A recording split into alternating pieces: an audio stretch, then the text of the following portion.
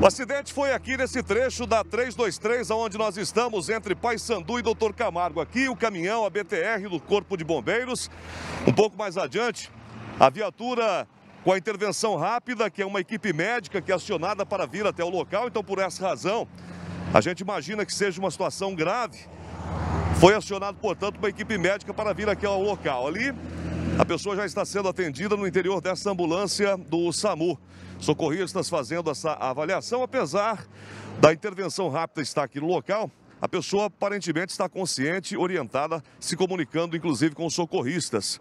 A gente vai mostrar aqui um pouco mais adiante a situação do automóvel envolvido nessa colisão. A princípio teria sido uma colisão traseira.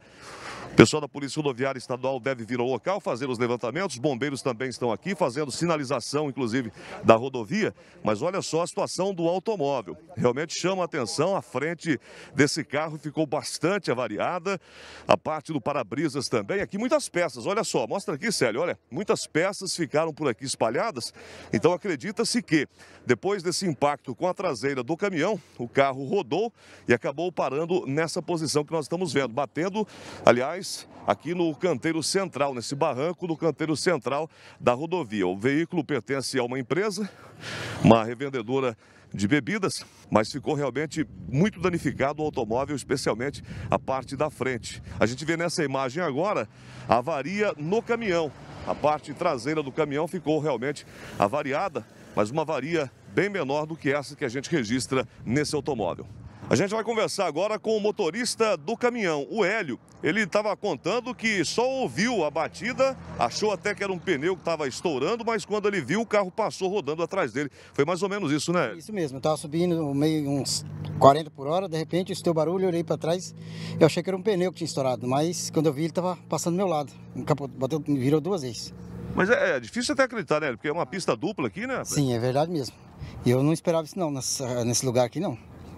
É, eu acho que ele tá correndo muito, deve ser isso aí mesmo. Parece que ele, tá, ele ultrapassou antes de bater, ele ultrapassou um ônibus, né? É isso mesmo, ultrapassou um ônibus em alta velocidade, daí ele entrou e tentou sair e não deu tempo, bateu na traseira. Aí quando talvez ele foi tirar, não deu isso, tempo. não deu tempo. Foi um susto grande, né? Eu assustei, hein? Quando eu vi ele passando do meu lado assim, eu já comecei a ficar Aí eu falei, nossa, vou morrer. Ainda o carro começou a fumaciar. É. Daí tiraram ele de dentro. Então ele chegou a capotar ali, ou rodou só? Ou não, ele capotou, bateu no barranco, capotou.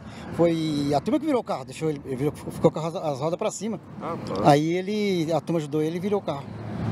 Para tirar no meio da pista. Ele ficou em cima da rodovia. E você é um caminhoneiro experiente nunca tinha passado por isso? Nunca, a primeira vez. Dá um susto danado. Dá um susto. Primeira vez que eu passo por isso. E você não sofreu ferimento nenhum, né? Nada, graças a Deus não. Você, é, logo que bateu, você chegou a conversar com ele ali? O rapaz estava no carro, como é que foi? Parou mais gente e o carro estava fumaciando, tentou, achou que ia pegar fogo, daí começou a quebrar o para-brisa lá para tirar ele.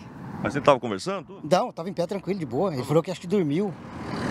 Ah, ele falou que dormiu? Dormiu. Não, ficou de boa, ficou em pé. Normal. Só... Não é grave, né? Não, não foi nada grave, não.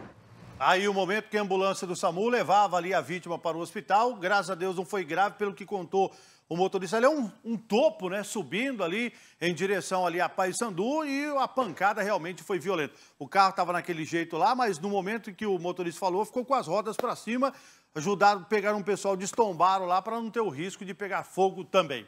Meio-dia 14, atenção, Multilink chamando ao vivo direto de Sarandi. Vem comigo, Evandro Mandador está me chamando direto.